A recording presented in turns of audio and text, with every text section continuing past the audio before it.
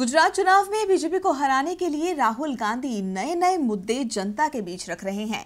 आर्थिक नीति से लेकर विदेश नीति तक राहुल सरकार को घेरने के बाद अब राहुल ने पीएम के dream project make in India पर सवाल उठाए हैं। प्रोजेक्ट पर तंज कसते हुए राहुल ने कहा कि मेक इन इंडिया प्रोजेक्ट ने दम तोड़ दिया है। अब गुजरातियों के नुकसान की भरपाई कौन करेगा?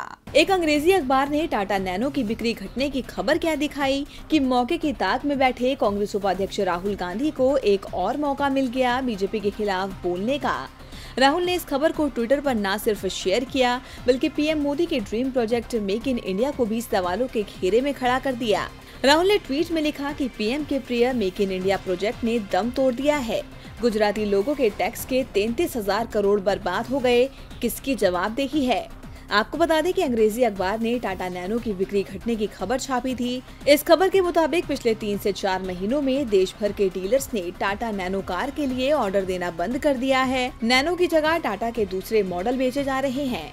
राहुल गांधी गुजरात सरकार पर नैनो कार प्रोजेक्ट लगाने के लिए टाटा मोटर्स को फ़ायदा पहुँचाने का आरोप लगाते रहे हैं। और आज इस खबर के बाद राहुल के आरोपों को और बल मिल गया। गुजरात में चुनाव प्रचार के दौरान राहुल ने नैनो प्रोजेक्ट के लिए तैतीस हज़ार करोड़ देने और किसानों की ज़मीन देने जैसे आरोप लगाए थे। साथ ही यह भी पूछा कि नैनो का क्या हुआ। हालाँकि राहुल के इन आरोपों का जवाब बीजेपी ने भी दिया है। बीजेपी ने पलटवार करते हुए कहा कि राहुल गांधी तैतीस हज़ार करोड़ के जो आरोप लगाते हैं, वो काल्पनिक है। डीबी लाइव की रिपोर्ट।